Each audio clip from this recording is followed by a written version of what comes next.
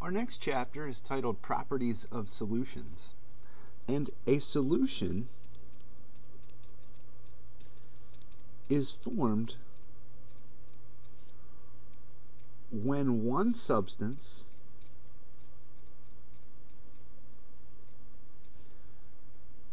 disperses uniformly throughout another. And we can say that what forms is a homogeneous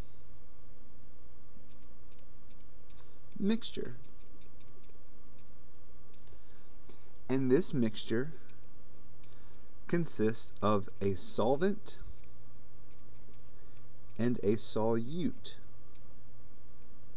The solvent, we can say, is the major substance present.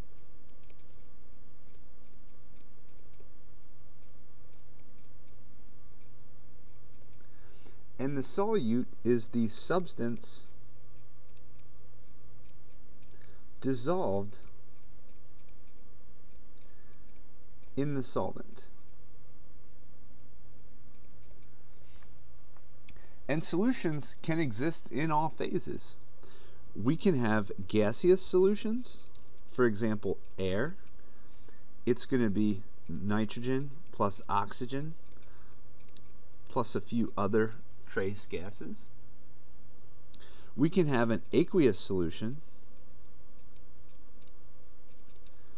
which consists of water plus whatever is dissolved in the water. We're going to talk about aqueous solutions in great detail in, in future chapters. Solutions can be liquids. And, and think of any two liquids, maybe your two favorite. You, you could have, you know, vodka plus orange juice. We can also have solutions in solids. For example, brass is combinations of copper, zinc, and, and sometimes uh, other metals. Okay, but the key thing here is to describe a solution, we must identify the components present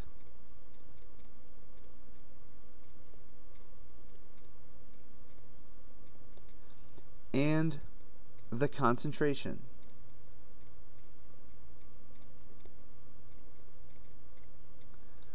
So first we're going to look at components present in solutions and, and look at the solute and the, and the solvent and see what's happening energetically when these solutions form. And then later in this unit, we'll talk about concentrations and how we can represent, you know, different solutions and their solubility. So this is kind of an overview of, of our solutions and we'll talk about these in much more detail in the upcoming videos.